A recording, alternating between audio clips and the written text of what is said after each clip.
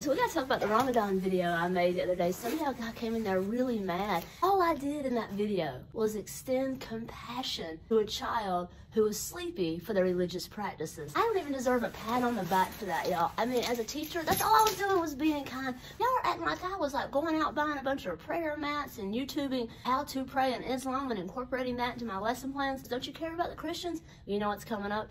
Easter. You know what happens the day after Easter? They come in, you know what they're talking about? Easter. They are super excited. They have their Easter hair. Easter hair is when maybe you only go to church for Christmas and Easter, or you just want, want to look really nice because you're going to go to grandma's house afterwards, or maybe you'll go to Red Lobster like my family, and then your grandma will be like, hey, stuff all those rolls in your pockets. And they're going to want to take class time and talk about the Easter bunny and going to church, and maybe I was in the little program. I played Jesus, and I wasn't good enough, so I was only in the choir. You know what I'm going to do? I'm going to celebrate all those kids too. All the video was as me as a teacher, be kind to your students regardless of their religious beliefs. Have a good day, y'all.